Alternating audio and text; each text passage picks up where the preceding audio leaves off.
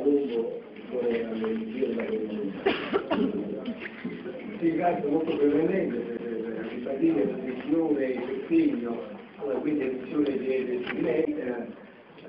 proprio in relazione a questo impegno del gruppo sul mettere in campo, siamo qui a ricordare un anno dalla ultima eh, edizione anche i progressi che sono stati alla Napoli. E agendo soprattutto su due versanti, che è quello della sensibilizzazione naturalmente della collettività e quello anche degli interventi diretti e investimenti diretti. Sotto il primo, profilo eh, la provincia di Napoli ha aderito al fatto di sindaci eh, quale eh, struttura di supporto ha eh, convocato tutti i sindaci della provincia di Napoli in una sessione eh, alla quale hanno partecipato numerosi rappresentanti delle amministrazioni locali e eh, abbiamo anche previsto, stanziando una somma non eccezionale, ma sappiamo bene qualcuno difficoltà anche finanziarie degli enti locali, realizzato uno stanziamento per finanziare i comuni che intendono approvare eh, i piani di azione per il risparmio energetico. Questo anno ha visto già partecipare numerosi comuni che a 10 sono stati finanziati. Sotto il profilo invece degli investimenti e degli interventi diretti,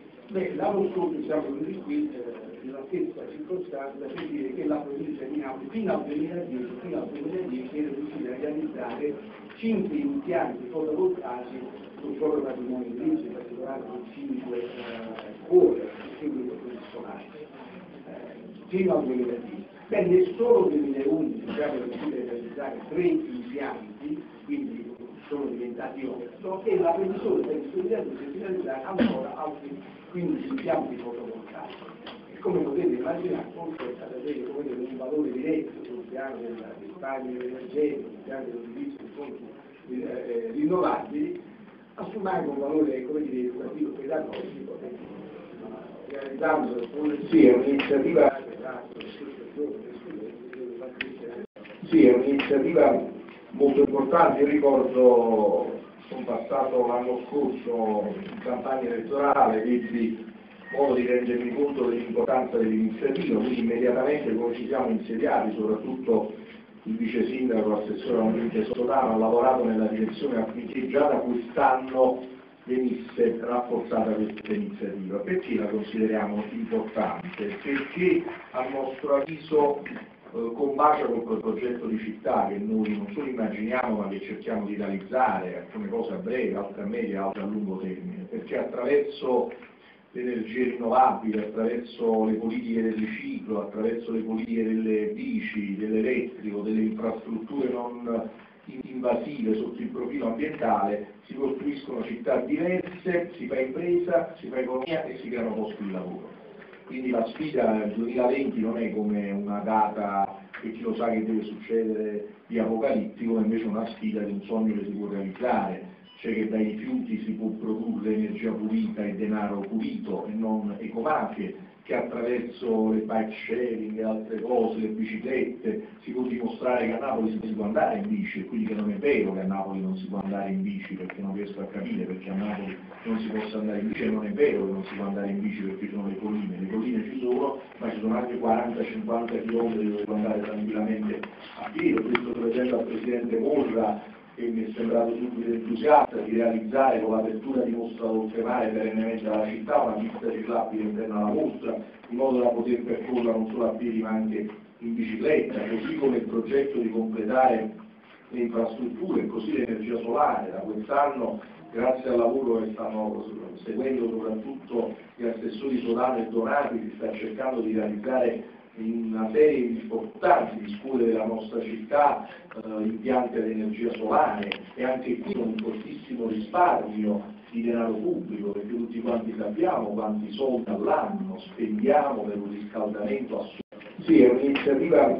molto importante, io ricordo, sono passato l'anno scorso in campagna elettorale, ebbi modo di rendermi conto dell'importanza dell'iniziativa, quindi immediatamente come ci siamo insediati, soprattutto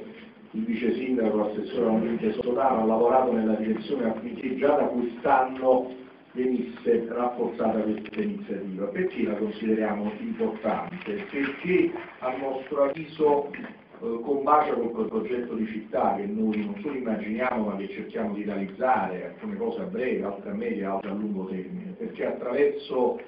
l'energia rinnovabile, attraverso le politiche del riciclo, attraverso le politiche delle bici, dell'elettrico, delle infrastrutture non invasive sotto il profilo ambientale, si costruiscono città diverse, si fa impresa, si fa economia e si creano posti di lavoro.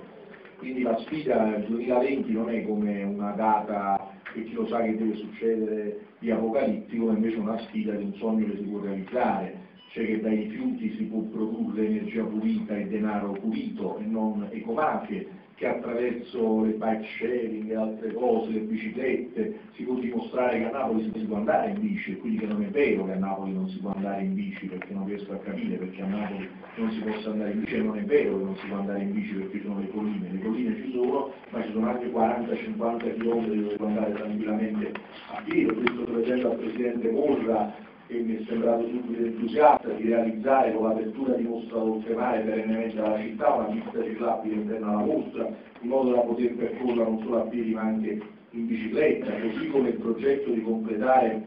le infrastrutture, così l'energia solare. Da quest'anno, grazie al lavoro che stanno seguendo soprattutto gli assessori Solano e Donati, si sta cercando di realizzare in una serie importanti di scuole della nostra città eh, impianti ad energia solare e anche qui un fortissimo risparmio di denaro pubblico, perché tutti quanti sappiamo quanti soldi all'anno spendiamo per un riscaldamento assurdo all'interno degli edifici pubblici, delle scuole, dei tribunali. Andate a leggere il Tribunale di Napoli, il Palazzo di Giustizia di Napoli, quegli spazi enormi ogni anno, quanto si spende in denaro pubblico, con riscaldamenti di marzo, io ricordo quando ero il magistrato, qui c'è un progetto di città, di vivibilità diversa, sul quale non solo, scommettiamo ma ci impegniamo. E il modo migliore per realizzarlo è mettere insieme istituzioni, come in questa iniziativa, e soprattutto il mondo delle imprese, dell'associazionismo e di tutti coloro come noi credono che queste siano cose possibili e non solo oggetti di convegni e di dibattiti, ma che i convegni e i dibattiti servono per far proposte e la politica serve per realizzarle insieme. Quindi mi auguro che molti cittadini napoletani parteciperanno, non solo napoletani, ovviamente campani, mi auguro anche fuori alla campagna, questi tre giorni, 22, 23 e 24 marzo, in modo da aiutarci ancora di più come cittadinanza attiva per portare avanti questi progetti politici. Grazie. culturale diverso. La nostra città è pronta a questo cambiamento, è pronta agli autobus elettrici, alle biciclette, a una mobilità sostenibile, perché questo significa meno inquinamento, significa più vivibilità, significa meno malattie cardiorespiratorie, significa portare più turisti e anche posti di lavoro perché appunto in questo modo, lo dimostra questa iniziativa di Energy Med, si creano con solare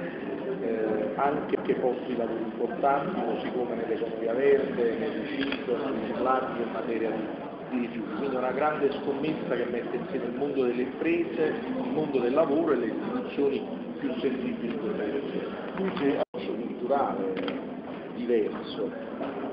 la nostra città è pronta a questo cambiamento, è pronta agli autobus elettrici, alle biciclette, a una mobilità sostenibile, perché questo significa meno inquinamento, significa più vivibilità, significa meno malattie cardiorespiratorie, significa portare più turisti e anche posti di lavoro perché appunto in questo modo, lo dimostra questa iniziativa di Energy Med, si creano con solare eh, anche posti di lavoro importanti, così come nell'economia verde, nel riciclo, nel riciclaggio in materia di, rifiuti. Quindi una grande scommessa che mette insieme il mondo delle imprese, il mondo del lavoro e le istituzioni più sensibili questa direzione.